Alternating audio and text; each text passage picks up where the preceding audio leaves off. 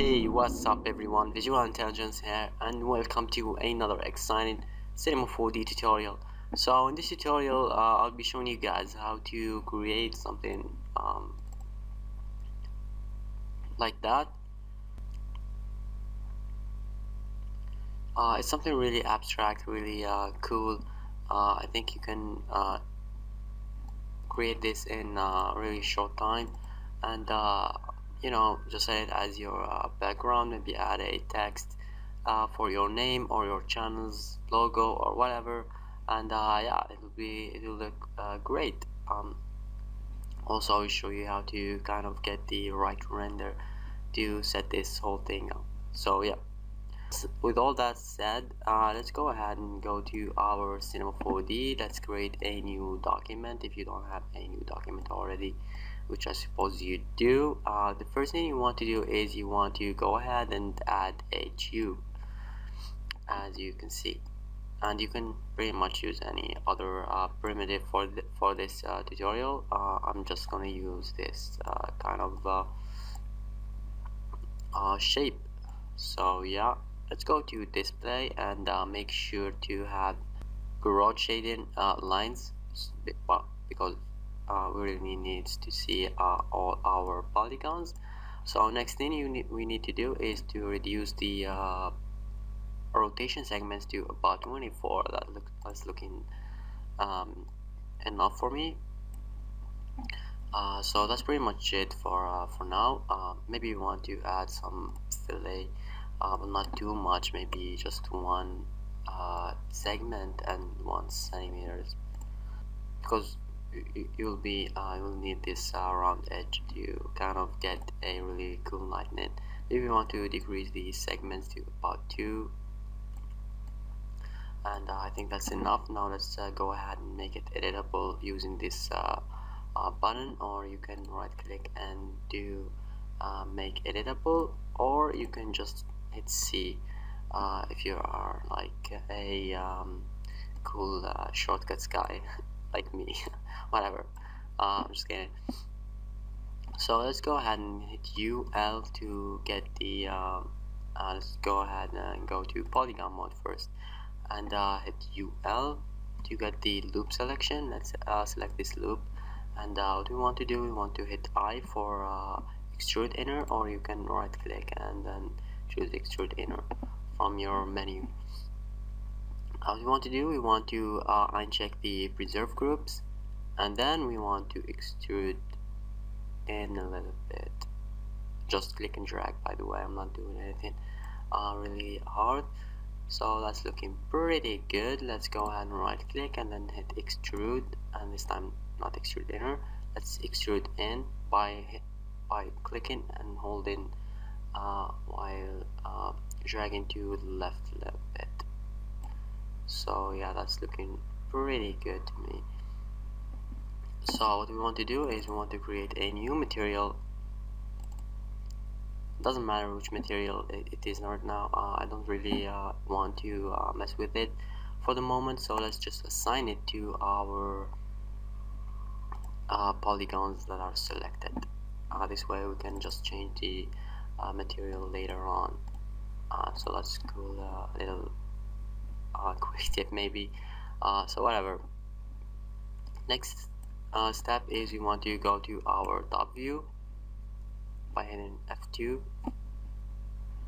uh, maybe zoom in a little bit. Uh, we want to grab the uh, live selection tool. We want to select some polygons. Maybe four or uh, I don't know. Just make them uh, spaced. I hold shift to select multiple polygons and they are evenly spaced. Uh, in this uh, example uh, you might also want to select even more if you want. Just make them evenly spaced. I think I'll go with just 4 for this tutorial. So hold control and deselect the ones you don't want to have them selected. So let's go back to our uh, perspective view. Uh, let's right click and then uh, extrude inner once more and let's extrude a little bit inwards. So that's looking pretty good. Let's right click and then um, extrude up a little bit. Control Z. Uh, make sure to have uh, some subdivision. So maybe like 5 will be great. And then you can go ahead and uh, extrude up a little bit as you can see now so yeah that's looking pretty dang good. So what we want to do is we want to uh, delete to delete the gaps because we don't really uh, need them.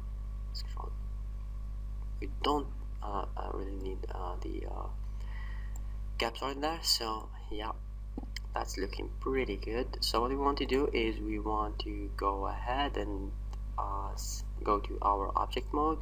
We want to rotate it 180 degrees and you can see I will see uh, why we are doing this.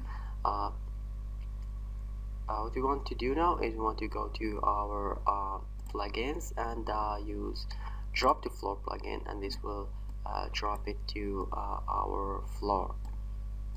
As you can see or you can go ahead and place it manually but I really recommend you get the plugin. I'll be linking you guys to it on the description of the blog post so make sure to get that to make life a lot easier. Also you want to go to our axis center. If you don't have it shift C and access. Just type axis center and this will pop up and uh, yeah. We want to go to our uh, y-axis make it uh, 100 uh, and this will uh, make it uh, on the bottom as you can see.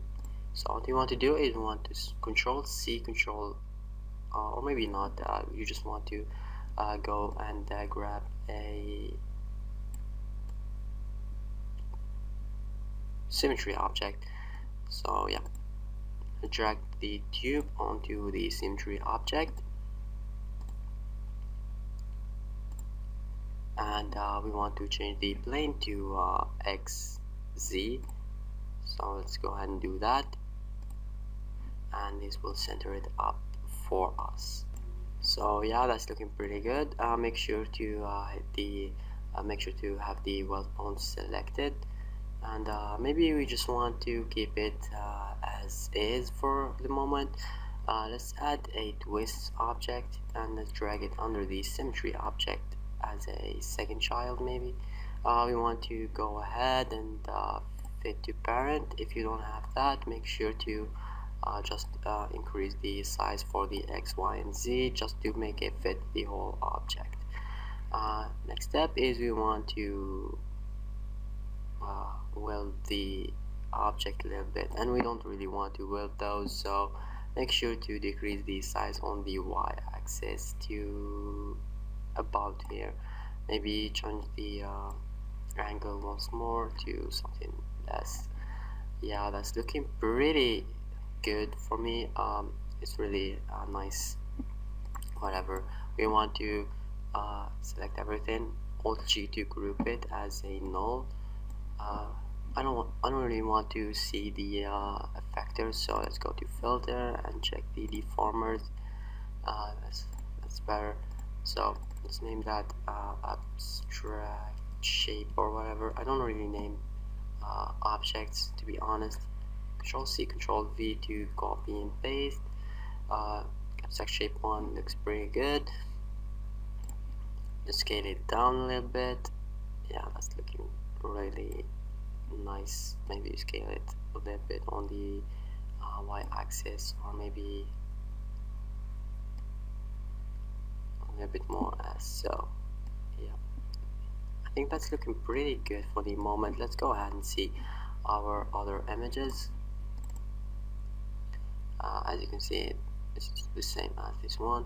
Uh, maybe we just want to uh, add those um, uh, I don't know stuff. Let's add more stuff to our image. So let's select everything.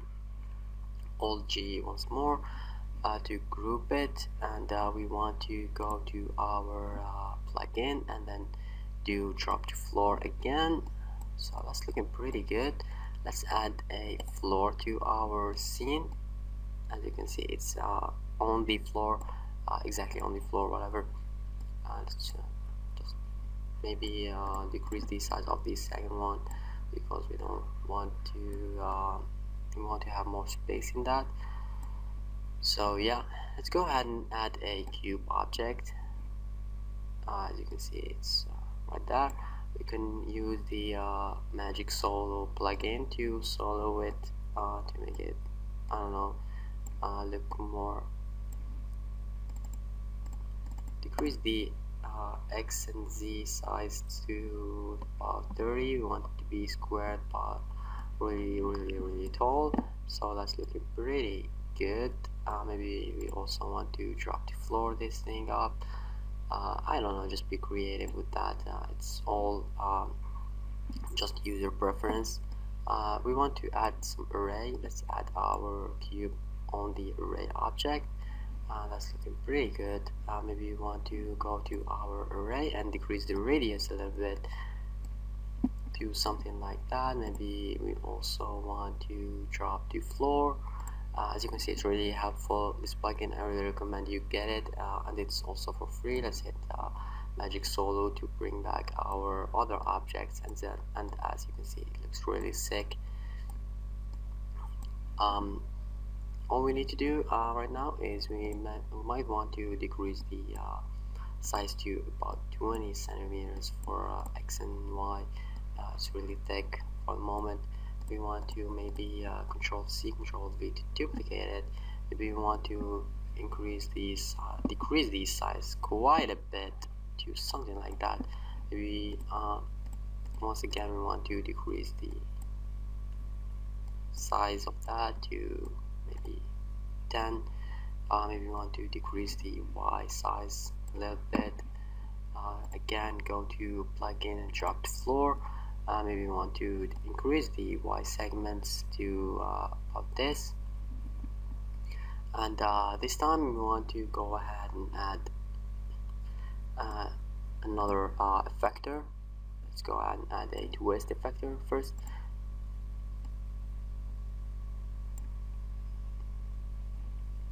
Let's fit to parent. And uh, let's twist this thing up a little bit um, maybe we want to have it like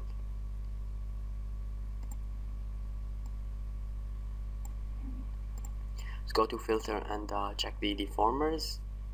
Uh, let's go ahead and make it a lot bigger uh, on the y-axis.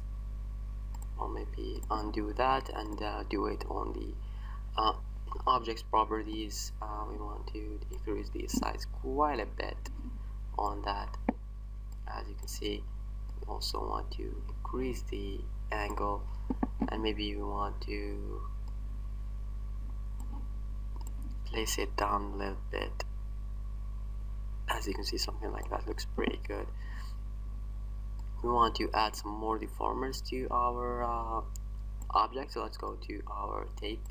Make it under the twist object and uh, you want to fit your parent again and uh, what we want to do is we want to scale this whole thing up a little bit. And uh, if you want to also scale it up. And as you can see it looks really sick. Let's give that a render just to see how that looks. Um, uh, it looks crappy right now. Uh, I, won't, I won't lie to you guys but uh, it's really easy to kind of uh, make it look uh, a lot more uh, realistic. So what we want to do is we want to go to our material and check the color and the um, specular and, the, and make sure to all only check the luminance make sure to have the brightness of 200 percent. And um, if we hit render right now as you can see it looks brighter but it doesn't brighten up uh, other places or whatever. Uh, bottom line it looks really crappy. So uh, let's also uh, as you can see want to decrease this whole thing down a little bit decrease the size overall. Uh, I don't know just be creative with that. Let's go ahead and see how that looks. Yeah that looks pretty good to me we will see how that looks uh, in quite a bit so don't worry about it. Um,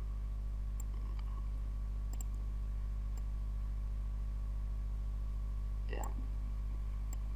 Maybe we even want to remove that later on. Uh, I don't know let's go ahead and uh, go to our uh, render settings. Uh, it will be like a uh, window for you like that. So don't freak out just choose whatever um, size you want. Let's go, I'm going with 1280 by 720p let's go ahead and go to save. Make sure to save it whatever you want. Maybe I'll just save it on uh, my uh, desktop or uh, this folder right there, right here. Why not? So let's save it as whatever name you want. I'll just my name. Uh, 72 pixels per inch resolution looks pretty good. Anti-aliasing we want best. Maybe you want 2 by 2 for the uh, sake of this tutorial but you can go ahead and go with 4 by 4 or 8 by 8 if you want to go crazy with that. Let's go and add ambient occlusion and global illumination.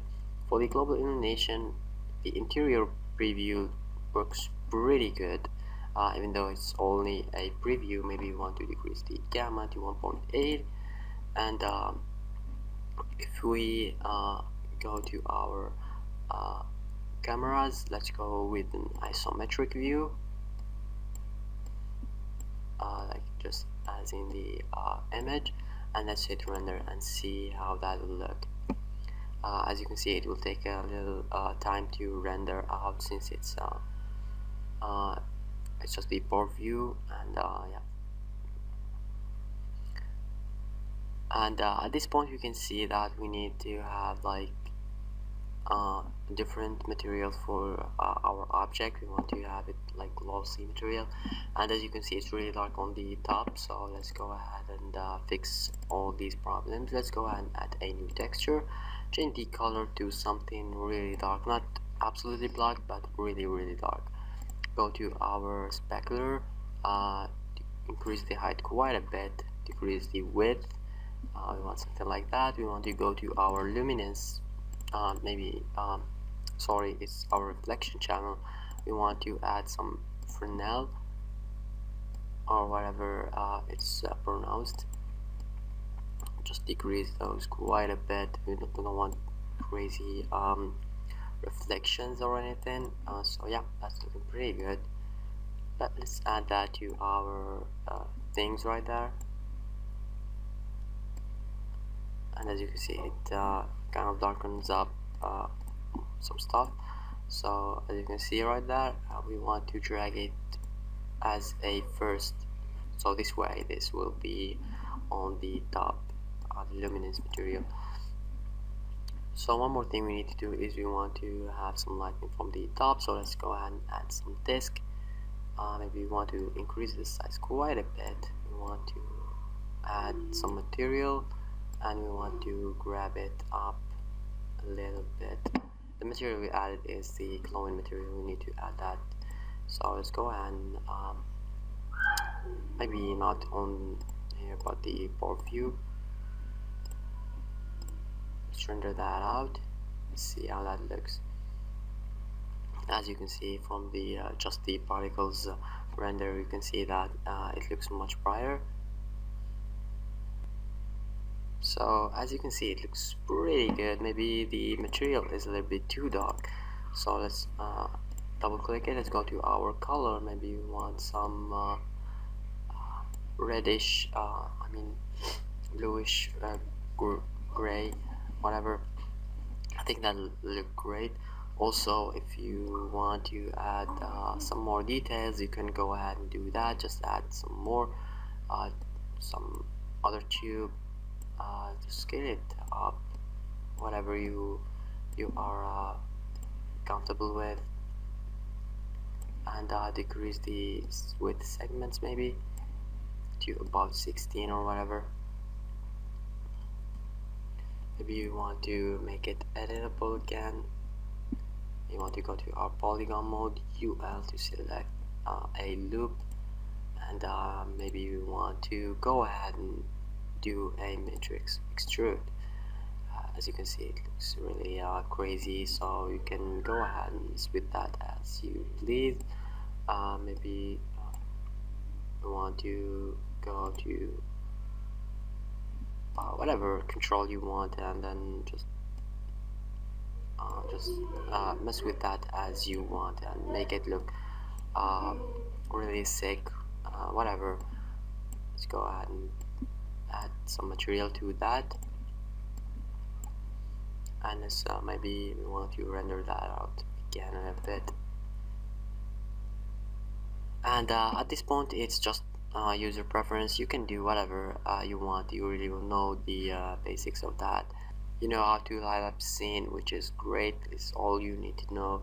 Uh, uh, I guess uh, as you can see this looks really crappy and ugly.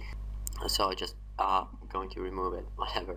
So I think that's pretty much it for this tutorial. Make sure to give us a like uh, subscribe to our channel and uh, also leave a nice comment.